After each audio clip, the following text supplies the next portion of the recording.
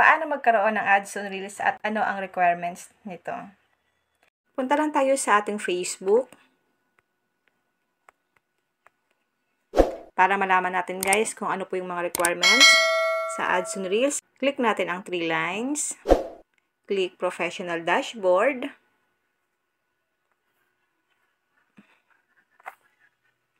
Click Monetization.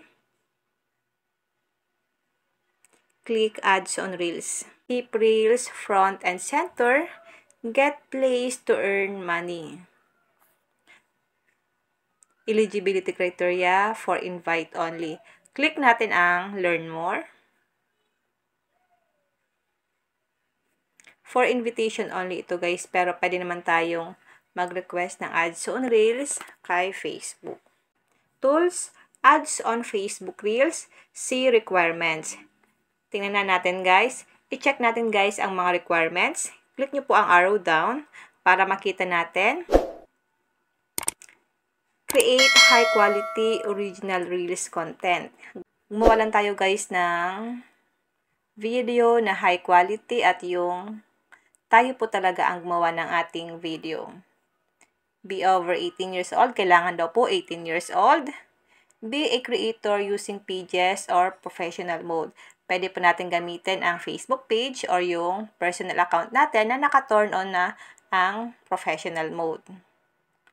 Pass and remain compliant with Facebook partner monetization policies and content monetization policies. Kailangan po sumunod tayo sa Facebook partner monetization policies.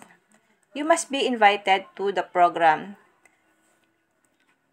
Kailangan po ma-invite tayo dito ni Facebook para magkaroon tayo ng ads Reels. Yun lang guys. Yun lang po ang mga requirements ni Facebook na kailangan natin ma-meet para magkaroon tayo ng ads on Reels.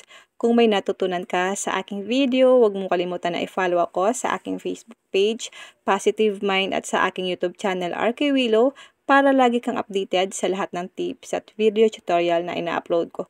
Mag-comment ka lang sa comment section kung may mga tanong kayo na pwede natin gawa ng video tutorial, gagawan po natin. And now, thank you for watching. God bless you all.